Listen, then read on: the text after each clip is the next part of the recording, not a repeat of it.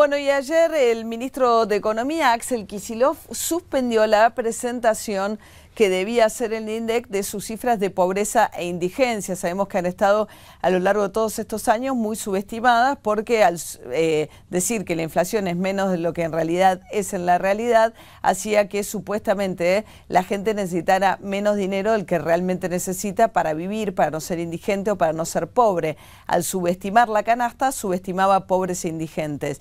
Después de sincerar algunos de los números de inflación, se esperaba ver qué había pasado, si ahora teníamos un reflejo un poco más eh, certero de la realidad. Bueno, la cuestión es que se suspendió la presentación. Graciela Bebacua, ex titular del INDE, que está en comunicación. ¿Qué tal, Graciela? Buen día. Graciela. Sí. Buen día, ¿qué tal? Eh, bueno, ¿qué, debió haber pasado en el día de ayer, digamos? Con, porque hoy dijo eh, Jorge Capitanich que se habían cambiado la muestra y que por eso una explicación técnica, como suele hacer Capitanich, pero de haber tomado ya los nuevos índices de inflación y haber actualizado la canasta, ¿no tendríamos una pintura un poquito más este, realista de pobreza e indigencia? En realidad lo que se suponía que estaba en el calendario era el cálculo de indigencia y pobreza del último semestre del 2013. Mm. Es decir, que todavía no tendría que haber incluido la nueva canasta ni los datos del IPC NU. Eh, lo torpe y la verdad que es vergonzoso es que hayan publicado en el calendario una difusión de la cual después se han echado atrás sobre el momento de la publicación, sobre el día de la publicación. Y eso es parte de no cumplir uno de los principios de transparencia y credibilidad de los indicadores que publica un instituto de estadística. para eso están previamente realizados los calendarios para cumplirlos. De hecho, si no se cumple, no se quita del calendario, simplemente hay que poner la fecha real de la que se va a disponer los datos y el argumento por el cual no se llegó a, tiempo a publicar. O sea que eh, iba a ser con los números viejos. Eh, en parte uno imagina que no quisieron insistir con números que ya han admitido de alguna manera que son falsos o que no reflejan la realidad. Probablemente, porque si venimos en la línea de lo que ellos vienen dando, eh, hoy por hoy, si hacemos un año para atrás con los índices del primer trimestre, estarían por encima del 20%. Pero de todas maneras, eh, es dato para el primer semestre de este año que no es lo que iban a publicar. Claro. Claro. Ahora, los últimos indicadores conocidos, digamos, primer semestre del año pasado, por lo que entiendo, este, Graciela, lo que nos está explicando, ¿cuánto daban de pobreza e indigencia para compararlo un poco con las otras mediciones? Sí, el primer semestre del año pasado daban un 4 para pobreza, un 1,5 para indigencia.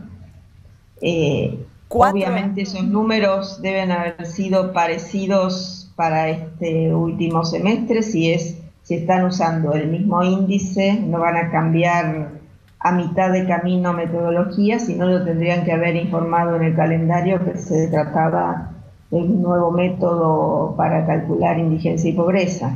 O sea que van a saltar aún con una medición distinta y lo expliquen como lo expliquen, de una medición de pobreza del 4% al momento en el cual los inseren tienen que estar alrededor del 20% o no.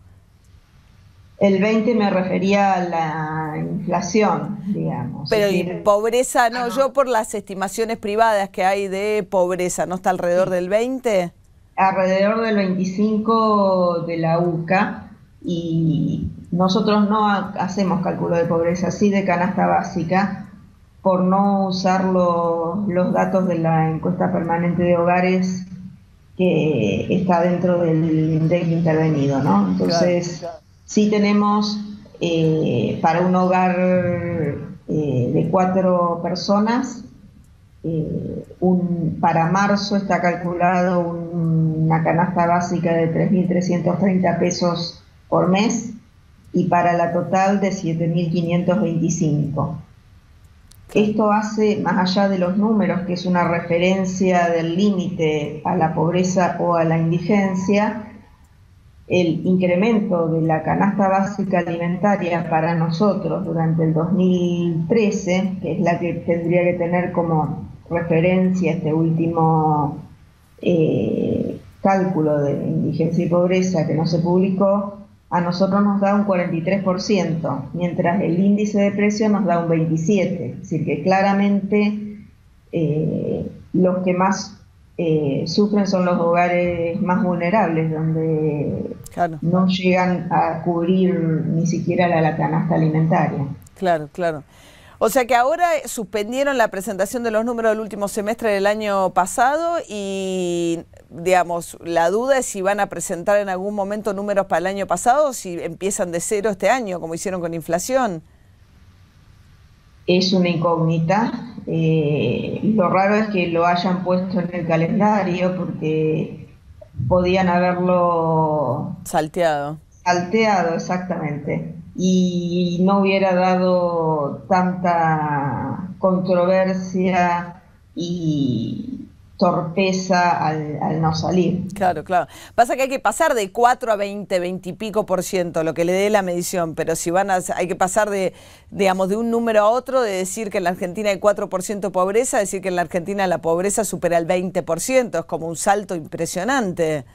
Sí, al, mismo tiempo que lo que ocurre con, la inflación, ¿no? Es decir, saltamos, eh, según las cifras oficiales, de un 10 a un 20 si contamos el año, pero si contamos el trimestre, este primer trimestre, estábamos muy por encima del 30, entonces eh, es complicado. Más allá de mi descreimiento hacia el nuevo índice de precios también, eh, dado los siete años de, mentira que son los mismos técnicos, es decir, los mismos directivos que han intervenido en INDEC los que han elaborado el índice. Entonces, también ahí falta transparencia.